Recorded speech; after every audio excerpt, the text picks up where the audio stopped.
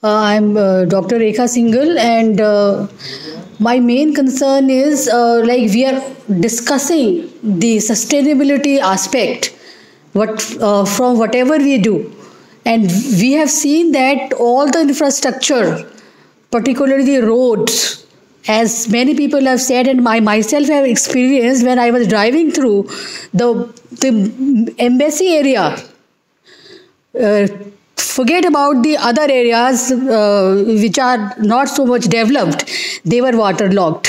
And this happens not today but they keep happening frequently year after year despite uh, all promises made by the government and other agencies.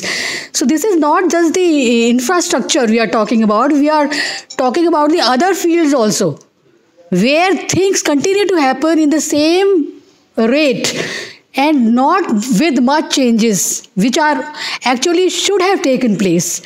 So now what what should we do as policymakers as uh, uh, dis, uh, debaters as speakers in various forums so that uh, we go for some kind of change which is desirable and this is a forum where actually we should take some policy measure from here.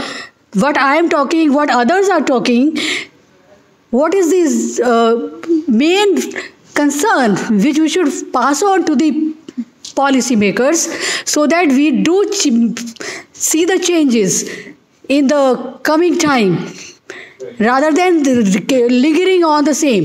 Right. So i think we've noted that i think in this in particular instances, I think, I think enough